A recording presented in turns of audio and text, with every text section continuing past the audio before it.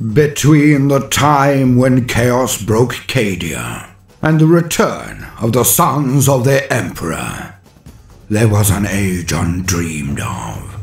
And unto this, Kronan, wearer of the jeweled crown of Aquilonia, upon a troubled brow. It is I, his chronicler, who alone can tell thee of his saga.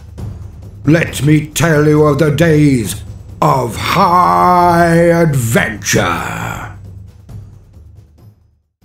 And so it was that we rejoin our hero, Kronan the Cunning One, Lord of all of Aquilonia.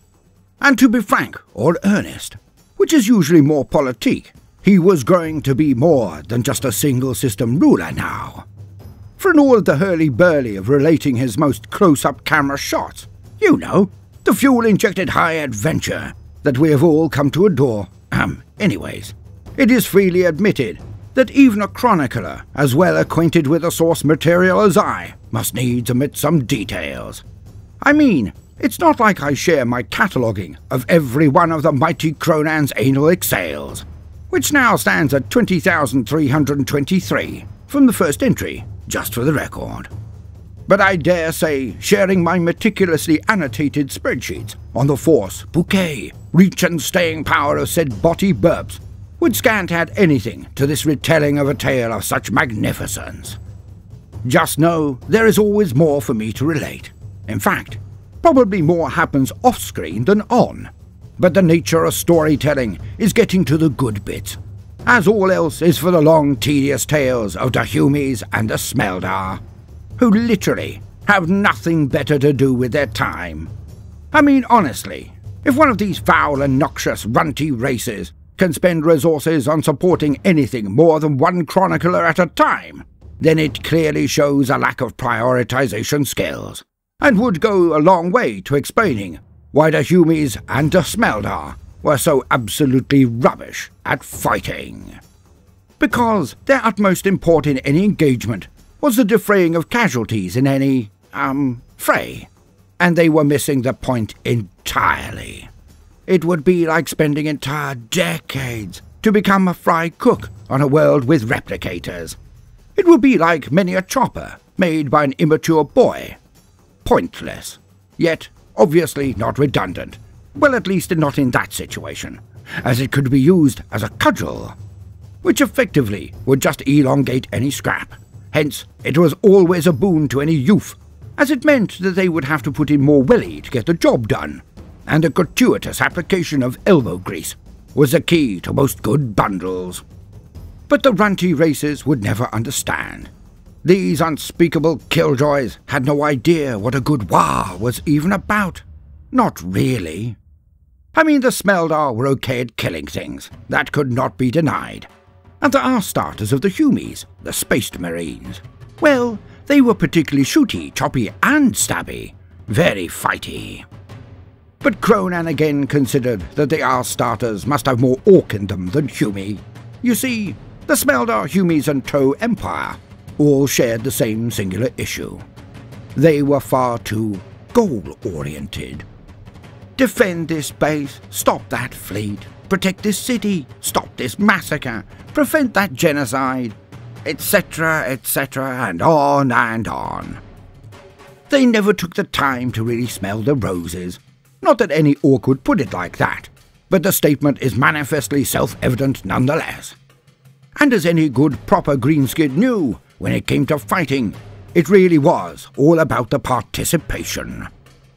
Anyways, this all adds up to the confirmation that I am not pestering or overburdening the patience of my audience with endless pre-correlated details of little worth, although I am aware that some gain gargantuan mahogany, redwood or oak tent poles from the discussion of logs and sticks. It is still something I tend to skirt over. Not that I am stating that skirts are a particularly important part of this tale, as they are clearly not. I have not even rizzed Admiral Tartan or McMurder for their strangely kilt-like attire, which everyone outside of Malt Whiskey Land realizes is just a plaited skirt. And so it was that elements of Kronan's War were getting antsy at times. despite the extravagant, gaudily lavish entertainments laid on by Kronan's Mystery of Truth. Some were indeed grinding their teeth with inaction. And as teeth were the universally accepted currency for the greenskins, this was viewed by the cunning one as a potential threat to his economy. Again, since the debacle of the Stock Exchange, we have nary even mentioned the fiscus, the finances of the war, because it is tedious and doth not contain either spittle, struggle, or slaughter. Hence, it has been omitted. Sidebar Multitasking. Ha! See, I remembered, so I thought I'd get it in quick. Now I have time for this exceptional sidebar, as I did not wish to clutter the last chapter, for it can be difficult to remain on point during such a thoroughly chaotic narrative.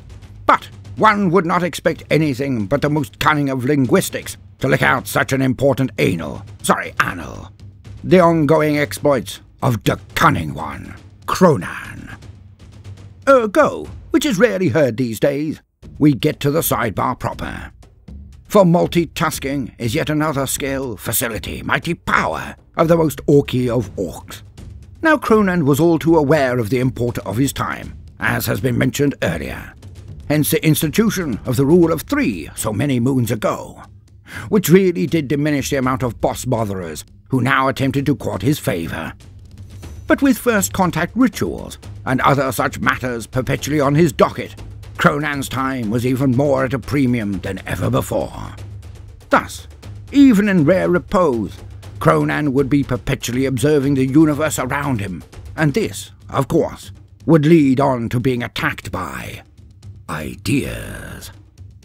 And so, Kronan learnt of multitasking while enjoying the matinee Squig surprise event.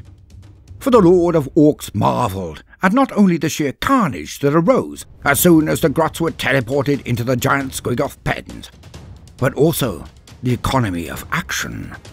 And Kronan looked on agape as he witnessed the amount of grots the mighty Squiggoths could exterminate in such a short time frame. Their every movement slew scores of the grots, a foot falling on many, other grots being thrown into walls by the impact, Others, in their wide eyed screeching to be free of the enclosed area, would slam themselves against the walls. As Kronan watched the impaling of four grots on the one horn, the lumen in his head flickered on. For he now knew he had to be as a Squiggoth fury. He had to watch his life for opportunities to deal with multiple issues at the same time. Multitasking. Thus did Kronan set to utilizing his time to its absolute optimum. For example, if Kronan was to chastise one of his bosses, he would invite all those who he was even slightly dubious about. Hence, when he tore the head off the rare annoying malcontent, he would also quell many a subsequent rising by making an exhibition of the recalcitrant knob or boss.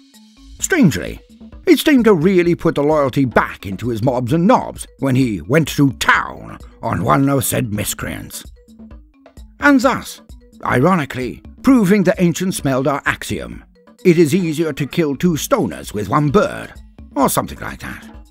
In any case, Kronan was now a master of multitasking, and the war thrived due to it. End sidebar. But where was I going with all this? Oh, yes, that Kronan had been canny indeed, for he had sent off the most rambunctious of his flotillas to grab extra turf. Well, the systems themselves were of little use to Kronan at this stage, as he was fully intent on his war, and, like many a leader, he concentrated on that which would maintain his forward momentum and thus popularity with the masses. Yet, inside, even the cunning one had an eye to the future. Well, more on askance shifty gods every now and again.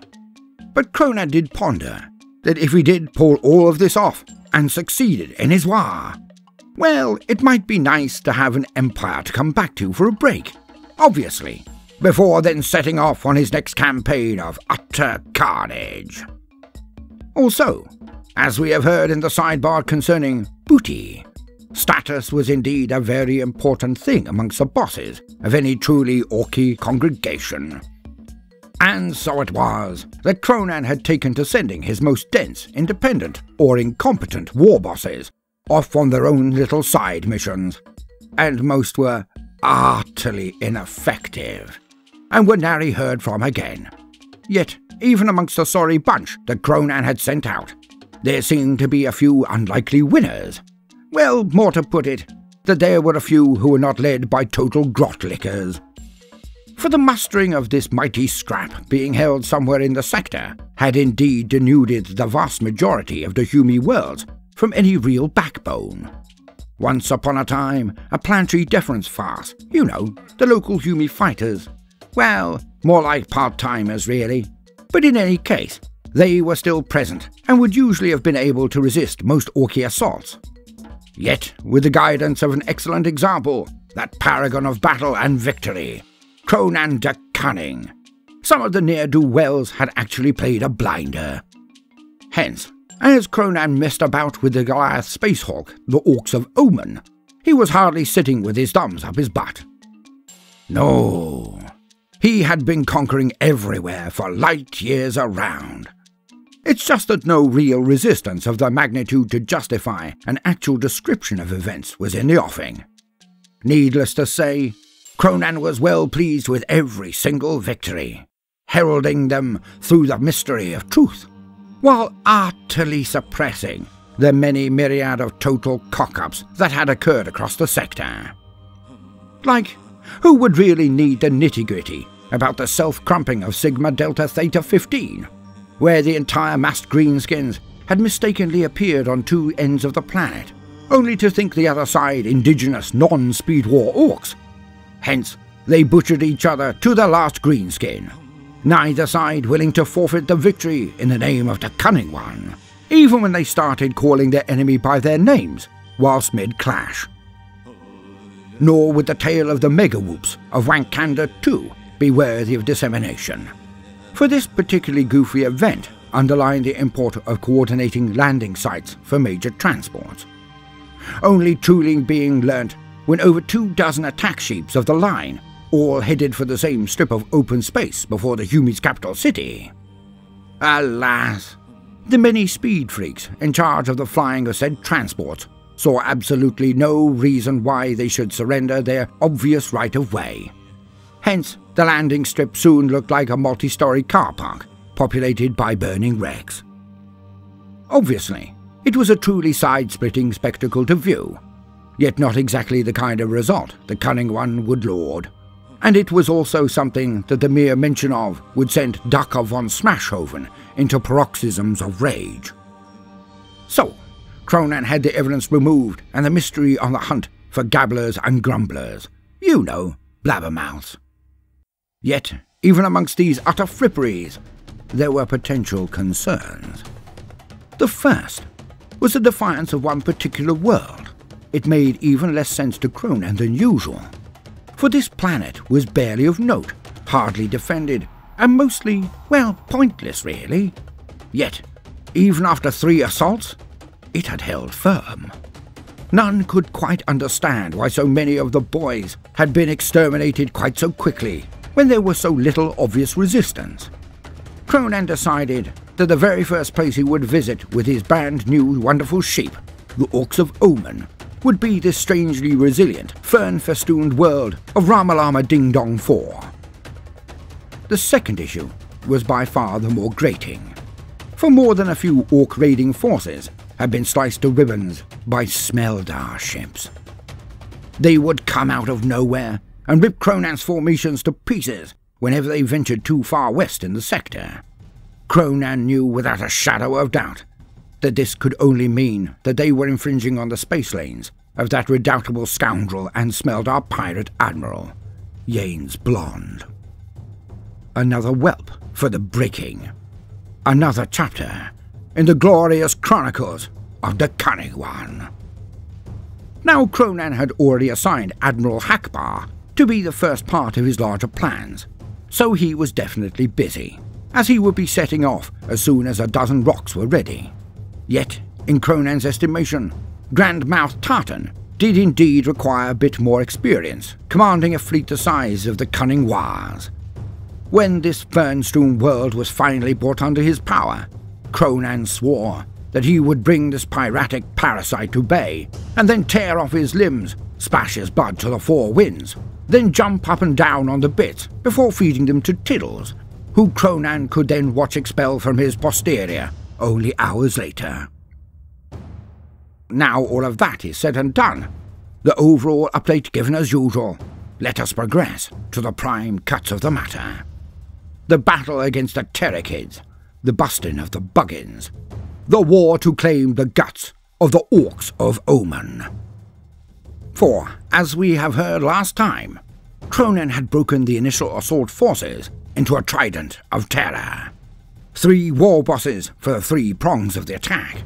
One headed up by the ever vicious but ever loyal Git Squisher McMurder. The second ostensibly led by that weasel, Grinner the Backstabber. And the last was posthumously under the command of tragic violence.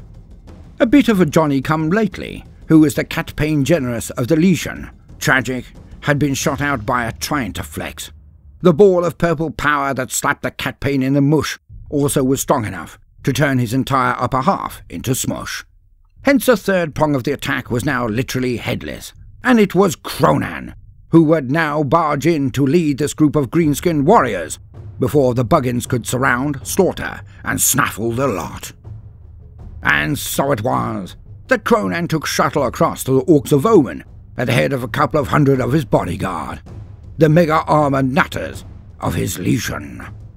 Yet it was to prove less straightforward than that, for in Kronan's train was of course his pet squig, Tiddles. Now this caused a very strange affair indeed for the squigs were usually seen wandering about the place, and nobody oft took any notice of them, until they were either hungry or being chewed on by a particularly aggressive wee ball of dental destruction. Yet, this has also been changing. It seemed to be another side effect of the blessings of Mork. Yet another sign of the bounty of the god of cunning brutality unto Kronan. For the proliferation of the grots was one thing, the increase in the size of those who were closest to Kronan another, the sheer exhibitions of thinking yet another. But now, it seemed, a greater blessing had just begun, for it passed as odd originally. But those who follow the chronicles with avid ears and cunning of their own will realize there was something very special about this squig. Tiddles was now of a size to even growl at a squiggoth and not fear. Oh, the chances of him being anything but squashed into a pate by one was still astronomical. But it was a simple fact that Tiddles was now the largest baseline squig any had ever seen. And he had also been augmented by the strategic sewing of multiple mad boys to his posterior, all done during the preparation for the battle against Toba and the worshippers of the wimpy gods of chaos. But the problem was that these mad boys they seemed to have been absorbed into Tiddles. And it became obvious to all that something was now going on with Tiddles. For he was able to transport himself where he should not be, had no logical or even orky way of getting to the places he did. And there had been reports of him appearing inside people's rooms and attempting to snaffle them. Well, the reports were more just evidence, really for none survived his nocturnal snacking. Yet the evidence was overwhelming, mostly because it was a pile of dung that was not born of any normal orc body. And it left an odour so foully overwhelming as to only be possible from either the Great One himself or his huge and perpetually hungry squig, Tiddles. But more than this, the other squigs acted differently when Tiddles was amongst them. Their fightiness and bitiness were sent skyrocketing. They would surround him and follow him wherever he went. As Kronan was unto the boys, Tiddles was unto the squigs. And, strangely, quite a few snots as well. Go figure. When Kronan's sheep landed on one of the many bays of the Orcs of Omen, the furore was real. Kronan walked down the gangplank, with other transports blurting out scores of his mega-armoured knobs. But as soon as a massive squig Tiddles appeared beside him, the bays were hit by a tsunami of bitey balls of hate, all wagging and waiting for their own master, Tiddles, the avatar of teeth, to show them the way. Now, on his procession to the place of pain, old Kronan was watching the feeds from the many vidgrots he had sprinkled amongst the usual ways of the diminutive wretches, and thus he felt like a front row spectator in the carnage, for the groups were performing pretty much as expected, but not anything beyond the scope of the ken of the Lord of the Cunning War, Kronan. For he predicted that the forces under the late, and definitely not great, tragic violence would be in trouble, and that they were. For the Buggins had smelt their discord, their lack of central control, and their panic. Hence, they were now initiating a plethora of flanking and sweeping actions that would indeed cut the forlorn group from their reinforcements. Kronan would act swiftly and decisively as soon as he got there, of course. Yet the other two were now the main part of his concentration. And again, there was no surprise from those forces led by the whirlwind of destruction, Git Squisher McMurder. They were doing quite nicely, all things considered. Git Squisher had managed to retain some form of Orky order, which wasn't saying much, but it was enough for those closest to him to hear, understand, and disseminate the orders he was constantly screaming at his mobs. Not that this interrupted his wholehearted indulgence in gratuitous violence, because nothing could really prevent this from such an orky orc as McMurder.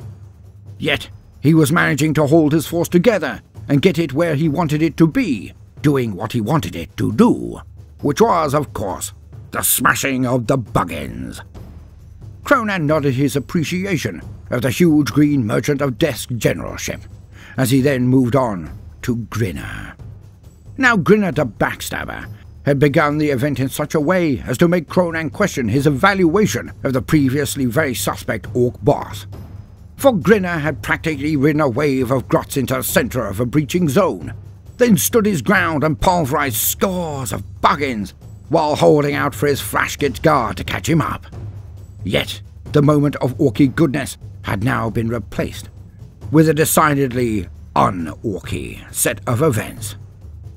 For Kronan had been watching Grinner quite carefully, trying to be fair, for he did not like Grinner originally, and being betrayed by the wretch, well, that had not exactly enamoured Kronan to him.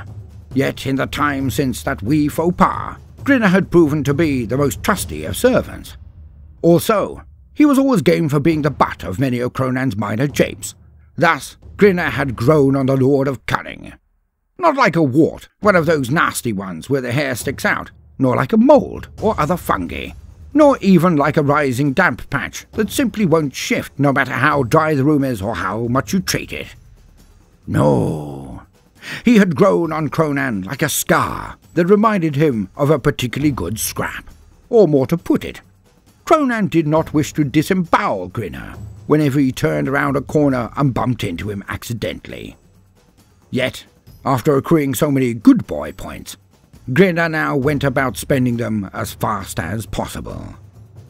And his estimation in Kronan's eyes dropped radically. Of course, there was also the matter of the hat. For Grinner's flash gits had shot out most of the grots near them in ludicrously unlucky events where the shooters just seemed to go off all by themselves whenever pointed at a Vid grot. Yet, there were always more, and it was from the remaining Vid grot feeds that Kronan could watch the strange goings on of the backstabber. And it was deeply concerning for Kronan. Well, it would have been if he were anything other than an orc, for they do not really have concerns. More it was something that made Kronan want to flatten Backstabber, for he had something that Kronan did not. An odd thing, a strange thing, a magical hat. Now Kronan would have made his way to Grinner right then and there, if he had suspected that Grinner's headgear was of the sort to attract and concentrate thinking, and ideas. Yet this did not seem to be the case, for Kronan knew the exhaustion that would come from performing this most holy yet terribly dangerous practice. Hence, he was not perturbed. What Kronan was interested in was the nature of the hat. Why did it have green lights coming out of it that created some form of holographic map? How did the hat know the layout of the Orcs of Omen? How by Mork's buttocks did the hat know the layout of the Orcs of Omen? Was Grinner using the hat? Was the hat, in fact, wearing Grinner? A terrible revelation that caused Kronan to almost stop in his tracks. Luckily, the nudging from about forty of his guards slamming into his back propelled Kronan forward again on his journey. Hmm, mused Kronan. This hat issue had to be resolved, and swiftly. For Grinner was using the hat to do very odd things. Grinner's main force was indeed heading forward down the usual routes, being the main corridors into the centre of the space hulk. Yet Grinner and his entourage seemed to be going up ramps, down staircases, across empty rooms, in a convoluted, squiggly way that had no rhyme or reason. Each time Grinner came to a fork in the road, he would consult his hat. And from it would come these green lights that made up the schematics. It seemed impossible. Before Kronan believed it was just pitiful luck for him to avoid all of the good fighting. But no, it was not. For Kronan could clearly make out that Grinner was. Ugh. He was avoiding fights! Somehow, the scoundrel was ducking out of real scraps and heading towards almost entirely clear zones which the Buggins had vacated to get to the battlefront. Disgusting. Sidebar The secret of the success of pirates. The helmet of St. Hungo, the endowed. In an age mired in the sticky threads of ancient antiquity, most likely being about a decade ago, for the memory of the greenskins is shorter than a kin's sideburns after being hit by a blast from the furnaces. There was once a corsair of prodigious, um, natural talent. And he made common cause with the powers of the Emperor. For his part in the pact, St. Hungo ever used his powers for destroying the clean, the flater, and the bitch.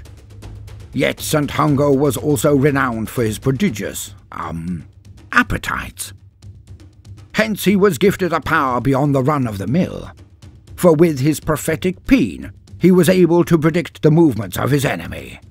Not only did this really help with massive fleet engagements, but also in evading the existing paramours of his latest conquests when they eventually returned home.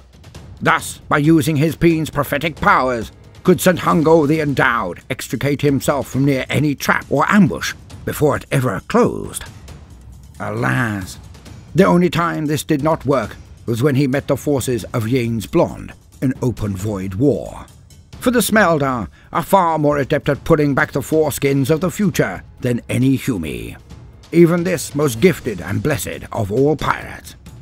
Hence did St. Hungo meet his match, which proved more than one, and as a result, St. Hungo was forced onto his knees in defeat. It was with his small fruit-peeling blade that James Blonde ended the connection betwixt the pirate and his powerful peen. Yet, when all was said and done, the Smeldar prince dropped the peen out of the nearest airlock. Long hours did it float, unknown, unowned, forever twitching to get back to its master. And by luck, it is just about then that a sheep of Grinner did meander into the region looking for scrap or a scrap. It was here that Grinner was guided to claim the prophetic member via its green lambent light. Yet he knew via strangely transcendental dream that while he was known to possess the peen, he would never be able to live without looking over his shoulder. And considering his neck was incredibly short, and his shoulders were as huge as any other orc war bosses, this could cause a severe lack of vision, one that would make him vulnerable forevermore. All would slay him for the powers of the peen, unless he hid them, unless he hid it. Hence did Grinner the Backstabber have created a fell garment indeed. The helmet of St. Hungo the Endowed, a hat with an eye patch over a secret aperture, so it would only shine out its guidance when he wanted. And it was indeed Grinner's intention to dodge the main concentration of Buggins, as if they were an irate husband armed with a set of white-hot todger removing tongs. Sidebar over. And so it was that Kronan entered the Terrorkid factory, his mighty con... um... Lesion at his back. And it was not long before Kronan got to the very seat of the problem. The U-bend, the tragic violence, had simply not been able to flush. For there was the main corridor that had a Tyrannofex at its end. The huge buggin had a mighty shooter that had already accounted for tragic, but there was simply no way around it. Now Kronan was not alone, as we know, and a segment of his legion had already tried scouting ahead for love of their lord. Alas, this meant that when Kronan and Tiddles snuck their heads round the corner to take a peek, or a shufty, they were greeted by the vista of a small shopping mall worth of smoking boots. To be fair, one or two sets were almost halfway down the corridor, and Kronan swelled with pride at the speed his mega armored knobs must have been booking it to get that far. Of course, Tiddles wanted to just charge down the corridor immediately, and there were a plethora of the balls behind him. In fact, the advent of Tiddles had begun to turn the tide all over the ship, for his minions, his fellow but lesser squigs, had now crawled into every air vent, conduit, and catwalk, pouring into the Buggins held region like a virus. There were clangs, and the odd vent would explode, and downpours of squigs and little Terrorkid Buggins, called slippers, or something like that, would roll around on the floor, killing each other. Kronan again swelled with pride, for he could now feel the war around him, between himself and the air vents, his squigs and the buggins, even between himself and the Tyrannofex. It was truly epic. It was almost as if the air was alive with the very vibration of war, which of course it was. Sidebar Spore Wars. The true oddity of the orcs and the buggins was that they fought each other even on the microscopic level. For as each of the orcs died, they released a miasma of spores that floated out into the atmosphere, yet they were still orcoids. And thus, they wanted to not only plant themselves in a warm, wet patch to grow, but they were also more than amply enthused with a good brawl. The buggins, for themselves, also alter the very atmosphere of any location they inhabit. Tiny spores from the Terrorkids would change the landscape, the air, the very water, preparing all of it for consumption by the Hive Fleet.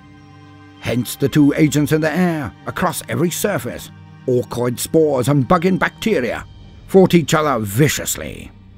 As each buggin slew an orc, they added to the strength of the microscopic warriors. Yet, as the orcs marched across the sheep, burning everything in their path, they were destroying the very means of producing reinforcements for this conflict. Thus, with every step they took and every buggin stack they burnt, the orcs were beating the buggins back again and again. It was glorious. Sidebar over. And so it was that Kronan knew what he had to do, for this was like the riddle of the boxes. Um, well, okay, that was a stretch, but it was a conundrum nonetheless. For Kronan knew he could dispatch the Tyrannofex if he ever got in close with the colossal bugger. Yet, to get there would mean taking more than a few shots from the orc puddle generating mega shooter that seemed to be growing out of its hands, like a particularly nasty line of snot that comes attached to your finger after a good rubbage. You know, the kind that no matter how you flick, it always just sticks hence you have to rub it off on a passing glot or snot. Stringy, you know. Anyway, Kronan did not mess about. He knew three things immediately. Number one, Tiddles would follow him wherever he went. Number two, the buggin could fire at least twice, probably thrice, if he just hoofed it along the corridor.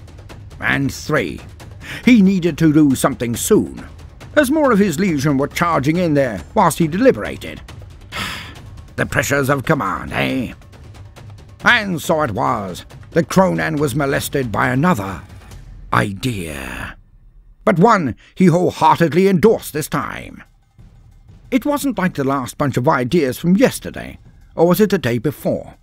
In either case, the idea to make a grot shrinker so he could keep one in his ear for emergency cogitations, well, it seemed like a good idea at first.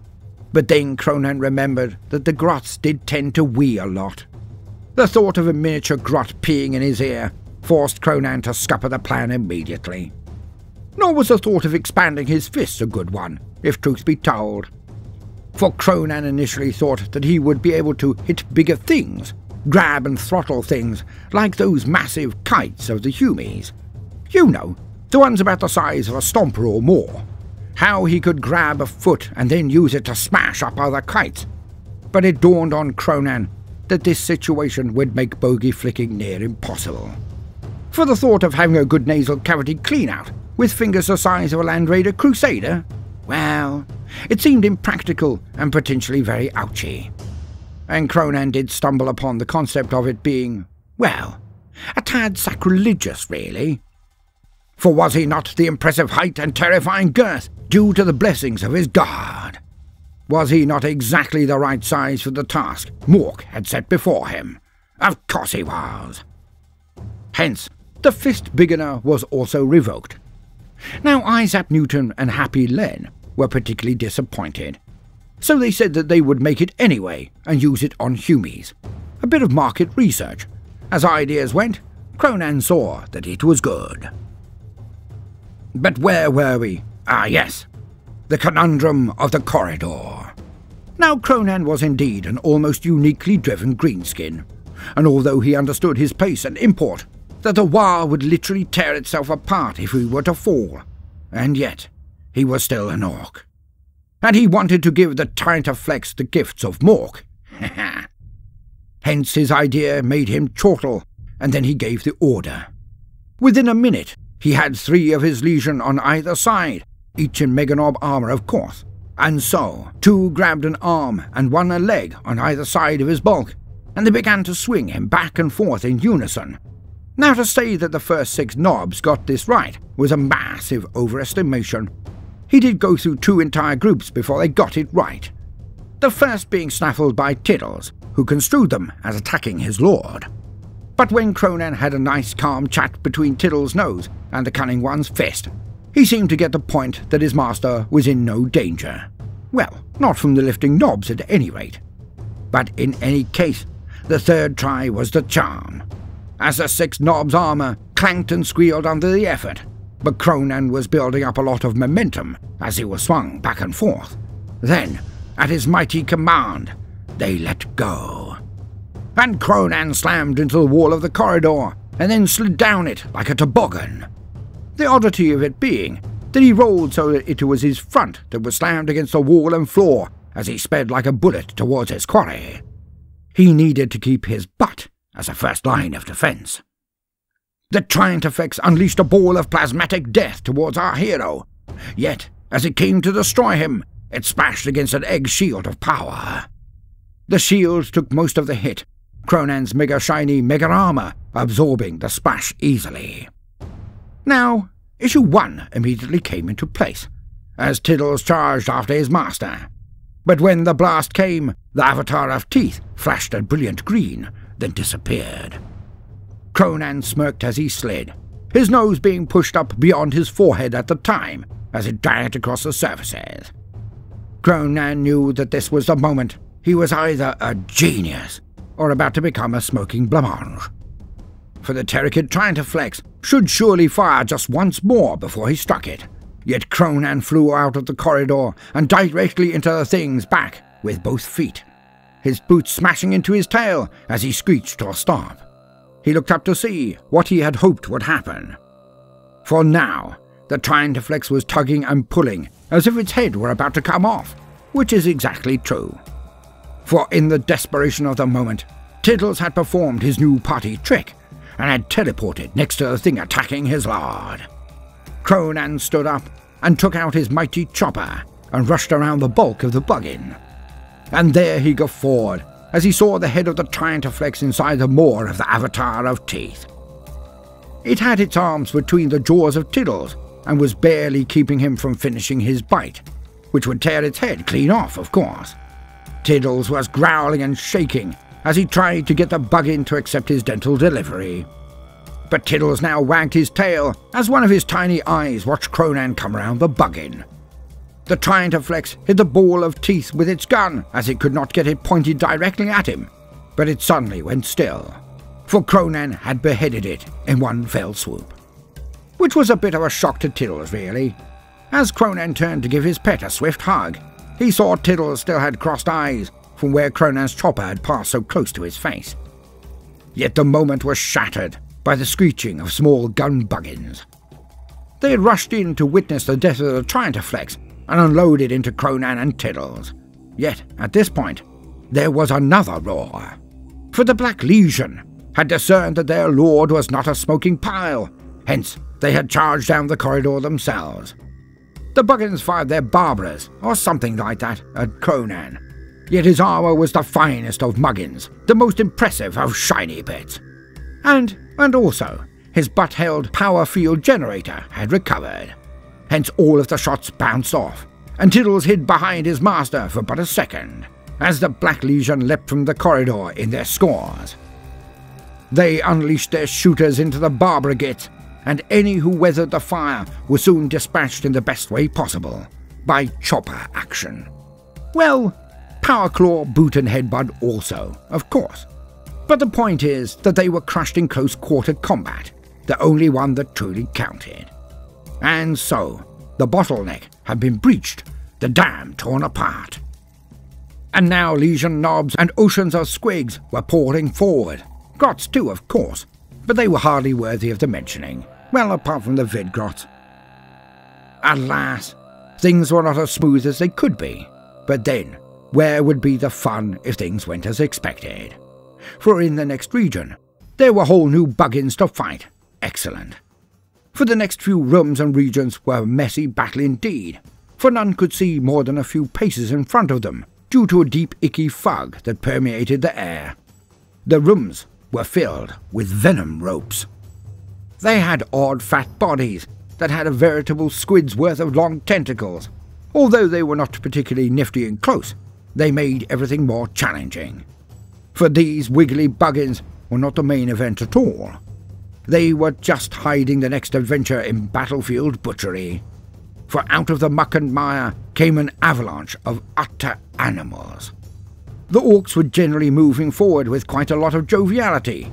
The jocularity of the situation was side-splitting, as the greenskins all made wafting movements over their noses, and more than a few attempted to add to the miasma with their own trouser coughs. Alas, in their enthusiasm, more than a few simply followed through, which of course was loud and squitty and led to even more guffawing. It was in the midst of this silliness that they, the Buggins, struck. The air could almost be seen to move as blood-curdling screams filled it. Now these weren't good, honest, deep-throated Orky screams. These were not bellows of defiance or calls to combat. These were blood-curdling, screeching affairs that made more than a few of the boys cease their laughter and the Buggins came out of the fog like a thunderbolt. Well, if a thunderbolt was about 20 foot tall, spat bioplasmatic death, and had four colossally stabby and rippy limbs made of hate. And so it was that the stream of fillers barreled into the Orc lines. Yet, were these not Kronan's elite forces, his Black Legion? The massive monsters came in hard, and their initial onslaught was devastating. When Kronan strode forward, his knobs, mobs, and boys came with him. Now, Kronan had not brought with him on this particular jaunt, for he was saving that up for a proper fight. For Kronan considered this just a bit of fun, like a bouncy castle, whatever that was, but with spikes and randomly appearing lava flows. He would always take a rumble seriously, of course, but he did not really consider this sort of fray that eventful. Well, eventful was not exactly the word, for Kronan had to drop his chopper and shooter to grab two of the very pointed talons that the streamer filler before him had managed to get past his reach. Yet he had already shorn off the other two from the beast, so he did not mind leaving his gut open. And so it was that Kronan then pulled the arms of the Baggin back and broke them like kindling. The thing thrashed as much as a Drukhari at a whipping contest, but Kronan just planted his head into its face until the buggin was just a headless mush on the floor. Now Kronan would have been slain in this event too, as he was getting so into the headbutting that he lowered his guard. Yet his trusty pet saved him once again. As another stream of filler came in, Tiddles jumped on it and bit into its face and upper body. The thing was then dragged down by an avalanche of squigs who were attempting to help Tiddles, the avatar of teeth. And so it was that the Black Legion also cut and broke, ripped and tore into the Goliaths. They had even more fun with these ones than the Carnifexes. And when the waves of the fillers stopped, there was a small groan from the lines of greenskins. Well, more of a moan of, oh, is it over already type affair. And when the streamers were all dead, they all went on to catch and kill every last one of the squiggly Venomthropes. So, with spirits high and weapons wet, Kronan led his forces even deeper into the Terrorkid factory. Kronan flicked a quick look at the screens of the Vidgrots, just to keep abreast of the progression of the attack elsewhere. Now, Gitsquisher McMurder had a definite lead on Kronan, for he had been in the first wave and not experienced a hold-up to Kronan's forces, as they were previously led by the now smoking boots of Tragic. And so it was that McMurder had passed his own trials. His prong had been engaged by a vast rank of buggin chopper and blaster gits. Standing just about the size of a knob, these ones seemed more organised, more closely packed, and far more stable. Hence, they were packed in quite deep when the orcs hit their lines. The bony swords of the buggin warriors cut straight through even mega armour. So there was almost a bank of dead orc boys before the main lines of the buggins. Yet, when McMurder hit their line, they buckled. He was as wrathful as a librarian who has a visit by the Society for whispering slightly too loudly while slowly reading out, but bursting into tears and snot bubble misery when this is pointed out, no matter how politely. An odd and long named society, it is true. Yet all is possible in the grim darkness of the far future. Anyways, McMurder was a thing of pure rage and stabbiness. He swung his power claw like a baton twirler at a parade, and there was nothing but buggin bits left in his wake. As the greenskins piled into the gap he created, the buggin block disintegrated. With grots and squigs now covering the floors and ripping at anything not aware of them, the boys took the buggin blades on their choppers, and the buggins were ripped asunder. At this rate, McMurdo would be at the centre of the hive before Kronan. But then, things had been so fun, Kronan would not begrudge it even if he was pipped at the post. But when Kronan attempted to view Grinner the Backstabber's thrust, all he could see were the boys and knobs. It seemed that Grinner and his flash kit had managed to kill every last Vidgrot who had followed the hat-wearing weasel. Kronan had no doubt that it was now between himself and McMurder. And he was also pretty certain that Grinner would come up with some excuse about being lost in the winding corridors or something like that. Miserable. What kind of an orc was Grinner? Was he an orc at all? Perhaps he was actually a modified Humy. Something like an arse starter, modified to look like an orc.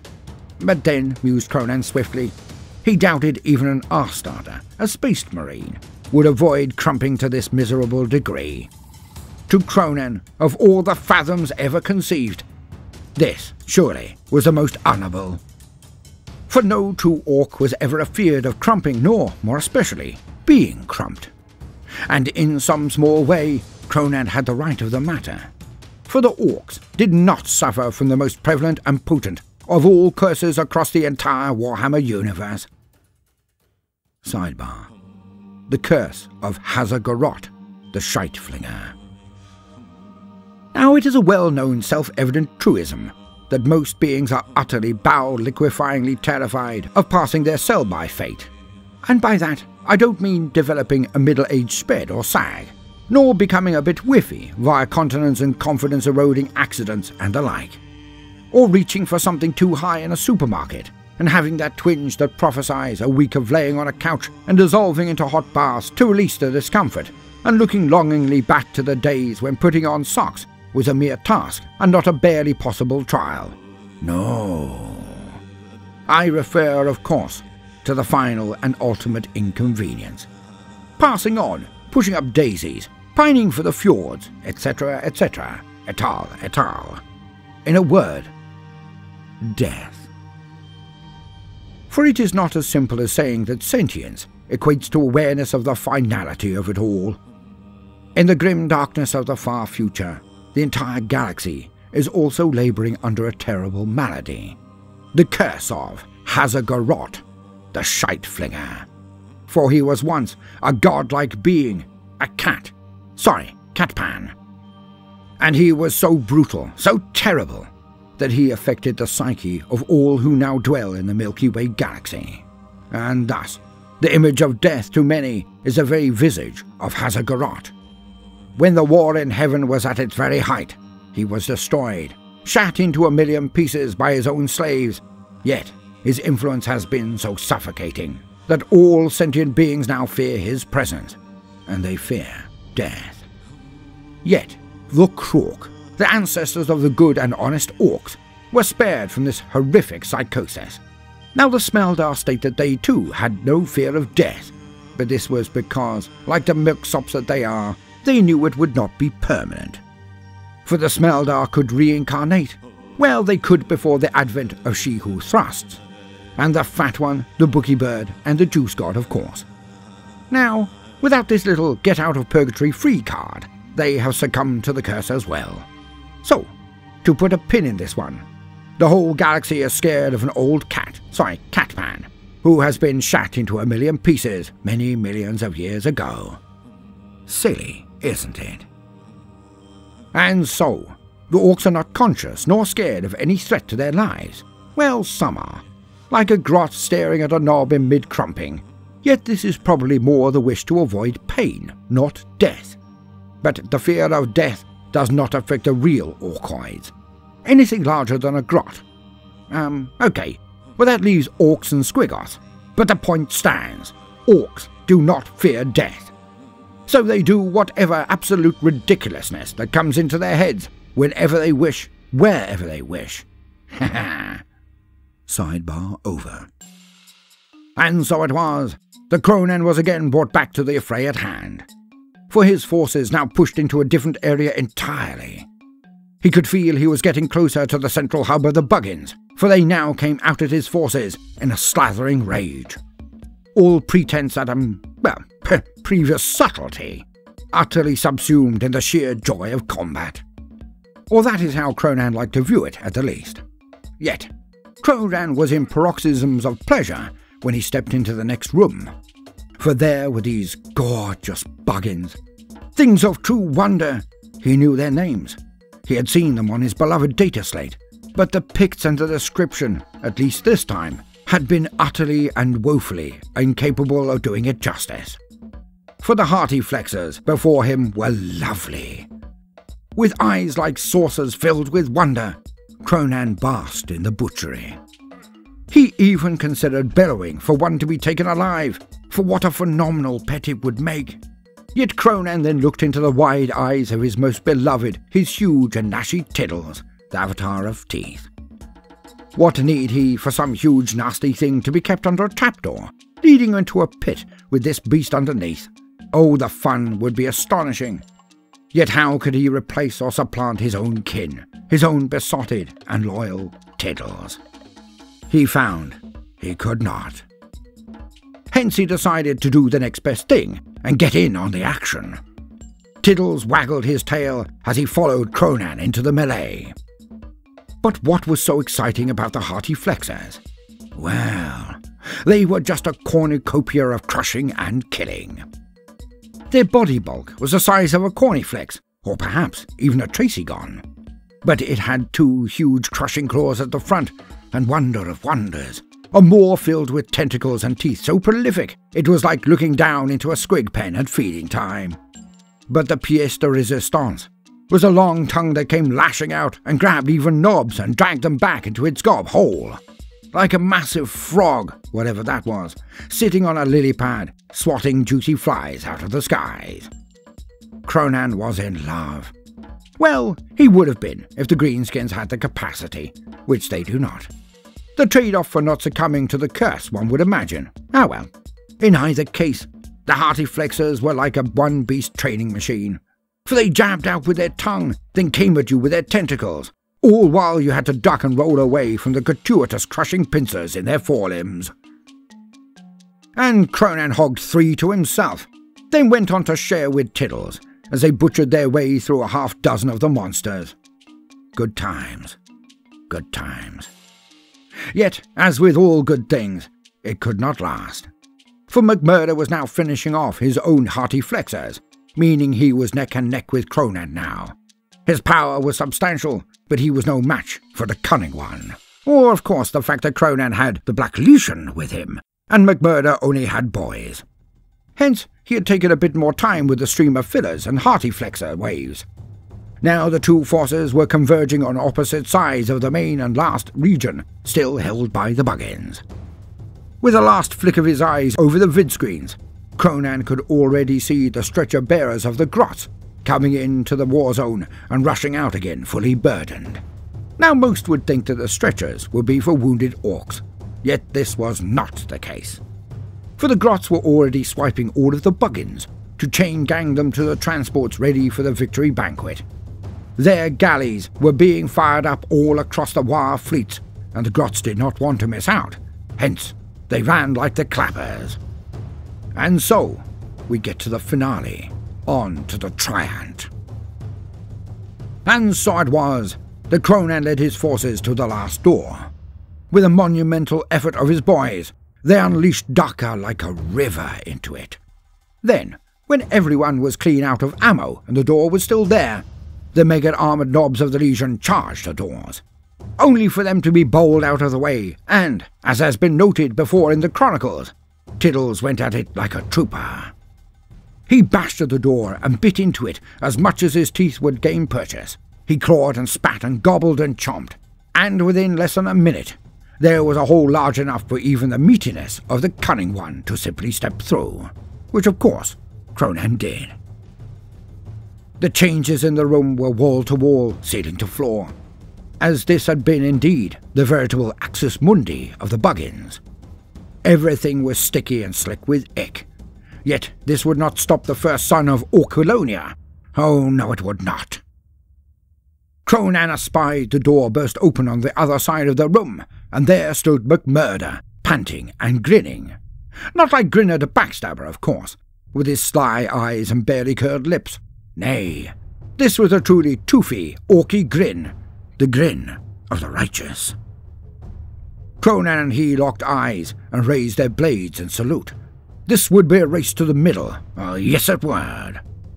And so it was that McMurdo and Kronan, Tiddles and all of the knobs, mobs, grots, and squigs all raised their voices and exalted praise as they bellowed. And then they went about the good deed of the day, the death of the last and largest Buggins. For in this last room, the Triant, the big brain Buggins in charge, had surrounded himself with a wall of weird warriors. The main line were these blind bugs with helmets for faces. They were incredibly heavily armoured and would not budge from their positions in defence of their lord. These were the Tyrant Guard. Yet around the edges slithered long and lusty buggins that could tower up on their coils and reach to the very top of the bay. They were huge. These were Targones, or something like that. And so, the Buggins held their ground and fought like, well, like really angry wasps when you're about to accost their queen. Like they were exceptionally stabby and bitey indeed. Kronan was forced to ride Tiddles to get the kind of elevation he required to really do some damage to the tall ones, the Targones. He could see his boys all surrounding this last island of Buggins, and it was hilarious. There was utter carnage. Yet he could also see that McMurdo was now right in amongst the Tyrant Guard. At any moment, he could just take one or two more lucky swings and clear enough space to get at the big Buggins. Yet there became time for Kronan.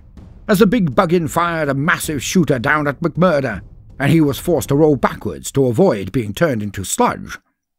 Of course, the guard of the big bug then closed ranks, and it was as if McMurdo was never amongst them. He was no lickspittle or lollygagger, and he simply brushed himself off and went back in for the kill. Yet all of his previous effort was wasted, and he was back to square one. Kronan trotted Tiddles back from the main engagement, preparing to charge the line of Buggins. Tiddles seemed to know exactly what was planned, as he dug in his claws a few times to test the purchase he had on the floor. He was preparing to leap just as Kronan intended. Hence they charged forward, and when Kronan grabbed Tiddle's eyebrow region and dragged it up, the squig did indeed launch himself into the air. Yet something truly amazing happened just as they did. For as Kronan was launched up, he could see a strange square of sparks coming from the ceiling. A square of flames licking around, which then dropped out of the ceiling. It landed directly in front of the Terrorkid Tyrant, only barely missing the thing as it hopped backwards out of the way. And there stood before the buggin, on the square of metal that had been burnt out of the deck above, stood Grinner the Backstabber, and five of his Flashgit's guard. The Flashgits had formed a semicircle to the back of Grinner, so when the whole buggin line turned to protect their lord, they were, of course, absolutely smashed, not only by the Flashgits, but also by those with whom they had already been fighting tooth and claw. But Grinner's Flashgits kept them back just long enough for the wretch to leap at the big buggin. Grinner now exhibited that rage he had displayed in the opening waves of the battle, and Kronan yet again was shocked by the fury of this boss for Grinner swung his power claw and chopper so fast they were blurs. And within only a few seconds, the big buggin was dead. The Tyrant had been killed. And the battle was over. Well, there was about half an hour of melee raging, as the buggins went stark staring tonto all over the place when their big bug died. Yet their cohesion was shattered, their lines dissolved, now it was solitary buggins here and there, being taunted and torn apart by the boys, or of course, the squigs. All the while, Grinner just stood above the dead lead buggins, with his mighty chopper in hand and the head of the buggin in the other. Now Kronan had two choices. On the one hand, Kronan was rather knocked off by his missing out on his leap being the end of the affair, and he taking the head of the big buggins personally. Yet he had the second issue, for he was actually elated.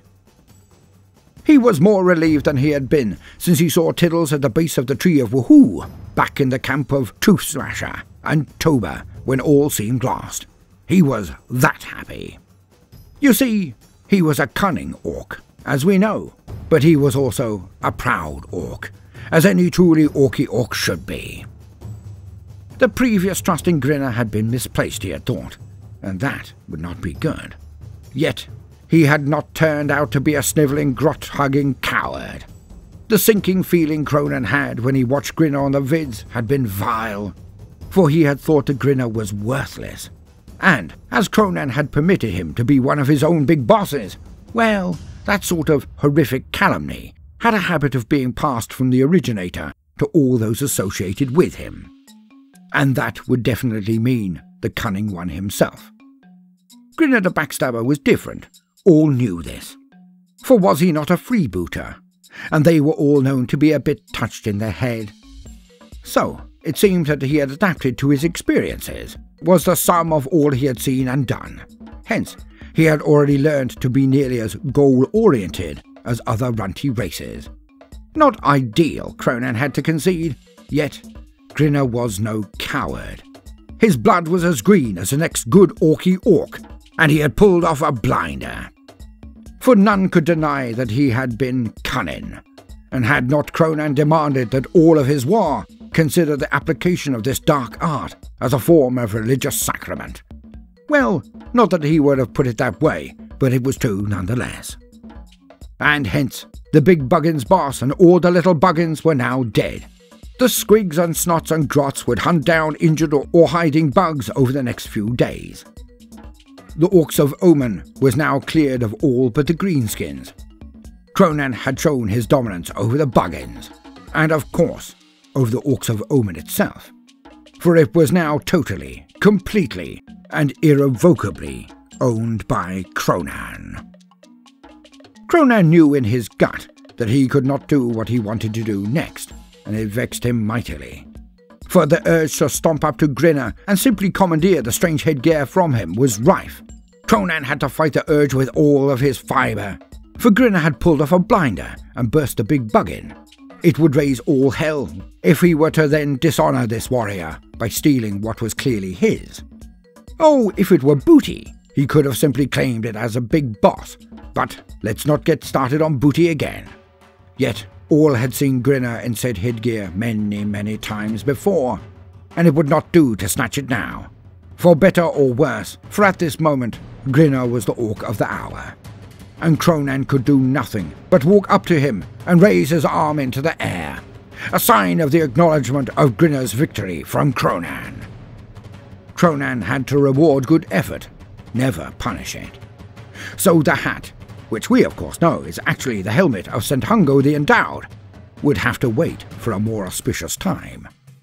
And so it was that Kronan joined the celebration feast with all of his boys, knobs, and bosses. Grinner was enjoying his moment in the spotlight, yet Kronan did not begrudge this for him either. To make sure he did not go into a rage and slaughter everyone present in a peak of jealousy, Kronan decreed that the feast would indeed be hatless. Out of sight, out of mind. At least while he was imbibing, the Herculean quantities of grog now being wantonly splashed about. It was a good day, and it would lead to many more. For as soon as the War had claimed and stockpiled all of the buggins, it was time to take a tour with his brand new Space Hulk Megasheep, the Orks of Omen. And Kronan, in his infinite cunning, knew exactly where he wanted to go first.